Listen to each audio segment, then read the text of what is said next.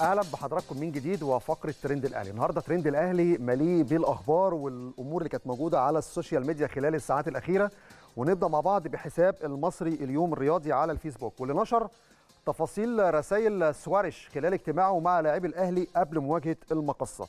على حسب المصادر اللي قالت للمصري الرياضي إن ريكاردو سواريش طلب من لعيبة الأهلي خوض مباراة المقاصة بقوة وتركيز شديد داخل الملعب من أجل تخطي مواجهة اليوم وإضافة ثلاث نقاط جديدة.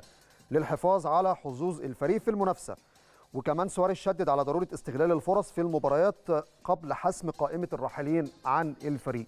أكيد في دوافع معنوية خلال الفترة الحالية من أجل حصد النقاط في الفترة اللي جاية. لكن من خلال متابعتي اللي اتكتب في المصري الرياضي مفيش كواليس من خلال اجتماع سواريش مع اللعيبة. كلام ممكن تكتبه وانت مغمض عينك. ركزوا.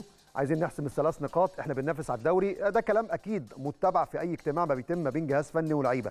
لكن تفاصيل التفاصيل ما بين الاجتماعات أكيد طبعا ما حدش بيعرفها. لكن بعض المواقع والمنصات ال social media بتحاول تجتهد عشان تعرف كواليس اجتماعات الجهاز الفني مع اللاعبين. طيب يلا كورة النهارده ركز على التشكيل المتوقع للأهلي أمام فريق مصر المقاصة. حسام حسن في الهجوم تشكيل الأهلي المتوقع. ليس تشكيل رسمي. لكن يلا كورة بيتوقع إن الشناوي في حراسة المرمى. ياسر إبراهيم أيمن أشرف رامي ربيعة علي معلول كريم فؤاد أليو ديانج حمدي فتحي ثم محمد مجدي قفشة وأحمد عبد القادر وحسام حسن. الناس خلاص بقت عارفة إن التشكيل هيكون رايح في إطار سكة 3 4 3 بعد تغيير طريقة اللعب عقب مباراة الزمالك في كأس مصر. طب نروح كمان لباقي التفاصيل وحساب كورة بلس بيتكلم على تعرف على قائمة غيابات الأهلي أمام مصر المقص. طب نعد مع بعض كده. واحد أكرم توفيق. عمار حمدي حسين الشحات محمد شريف عمرو السوليه أحمد نبيل كوكا محمد عبد المنعم صلاح محسن طاهر محمد طاهر. إذا تسع لعيبة غايبين بسبب الإصابة ولكن لأسباب فنية تم استبعاد بدري بنون يبقى كده 10 لعيبة وبيرسي تاو لعدم الجاهزية بعد العودة من الإصابة. يبقى بالتالي 11 لعيب غايب النهارده عن فريق الأهلي أمام مصر المقصة قايمة بالكامل ما بين لعيبة في خط الدفاع لعيبة في خط الوسط لعيبة كمان في خط الهجوم مؤثرة بشكل كبير فغيابات عديدة لكن نتمنى إن شاء الله النهارده نشوف أداء مميز من اللاعبين اللي هيحظوا ببداية في التشكيل الأساسي. طب اليوم السابع راح لإطار تاريخي بقى وإطار متعلق بتاريخ مواجهات الأهلي ومصر المقصة قبل صدام الليلة بالدوري. طيب تاريخ المواجهات الفرقتين لعبوا مع بعض 21 مباراة الأهلي فاز 15 المقصة فاز في مباراتين وتعادلوا في أربع مباريات. أكبر فوز للأهلي على المقصة كان 4-0 وأكبر فوز للمقصة على الأهلي كان 3-2 آخر مباراة الأهلي فاز فيها على المقصة 4-0 والأهلي حقق الدوري 42 مرة. الوصيف ده أفضل إنجاز لمصر المقصة يمكن ما فيش إنجاز أفضل من كده في الدوري المقصة كان ترتيبه الثاني هداف الأهلي في المقصة كان عبد الله السعيد أربع أهداف. وجون انطوي هداف المقصه في الأهلي برصيد أربع أهداف والاثنين مش موجودين في مباراة النهارده. نروح لحساب الوطن الرياضي وبيتكلموا على إن كمان في خمس لاعبين في الأهلي مهددين بالغياب عن مباراة المقاولين بالدوري الممتاز، يعني إحنا بنتكلم على 11 لعيب غايب النهارده ولا قدر الله كمان في خمس لعيبة مرشحة إن هي تغيب عن المباراة الجاية ولكن اللعيبة دي مش بسبب إصابة لا قدر الله أو رؤية فنية لا ولكن بسبب تفادي الحصول على البطاقة الصفراء. يعني واخدين إنذارين قبل كده والنهاردة لو حد فيهم خد إنذار هيبقى إنذار ثالث وبالتالي ما يلعبش المباراة الجاية مع المقاولين. مين هم الخمسة؟ حمدي فتحي محمد هاني كريم فؤاد أحمد عبد القادر محمد مجدي قفشة. الوضع صعب جدا وأتمنى النهارده ما تكونش المباراة فيها أي إنذارات. المصري الرياضي خد تصريح مهم جدا للكابتن أحمد ناجي وبيتكلم فيه على محمد الشناوي. وبما إن الكابتن أحمد ناجي من مدربي الحراس الخبرات كبيرة جدا في الدوري المصري مهم جدا نسمع رأيه في التوقيت الحالي بخصوص مشاركة الشناوي مع الأهلي في المباريات الأخيرة.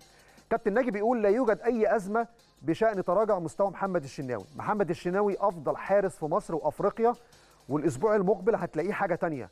لا يوجد أي أزمة بشأن تراجع مستوى محمد الشناوي، كرة القدم لعبة عجيبة والناس بتحبها لأن مفيش فيها حاجة ثابتة، لكن الشناوي قادر على العودة.